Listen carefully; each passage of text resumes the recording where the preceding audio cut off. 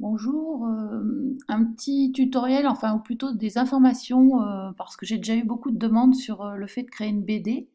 Et donc en fait, j'ai découvert ce matin euh, donc Book Creator, je connaissais. Euh, voilà, moi j'utilisais Storyboard, mais euh, malheureusement Storyboard c'est payant. bon, c'est pas très cher, hein, mais pour 50 élèves c'est 10 euros, donc on peut se débrouiller avec le gestionnaire s'il est d'accord. Mais ce que j'ai trouvé de super, donc tout le monde connaît Canva, et donc j'ai tapé comics dans Canva, et vous avez, mais alors une foultitude de, de possibilités.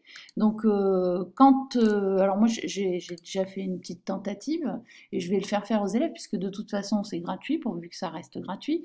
Et ce qui est génial, c'est que donc voilà, ça vous donne un ensemble d'illustrations. Ensuite, ça vous met les bulles, ça vous met euh, ben, les décors, les personnages, euh, les, les, bulles de, pour parler. Et ensuite, donc voilà, je trouvais ça marrant, anniversaire virtuel. Et alors, vous en avez quand même beaucoup.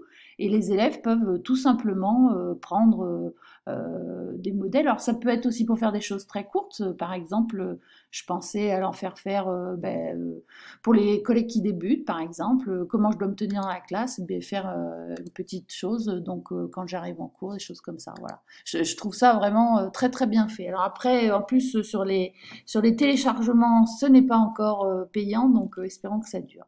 Voilà, j'espère que ça vous sera utile. C'était ma petite découverte du matin. Bon courage à tous.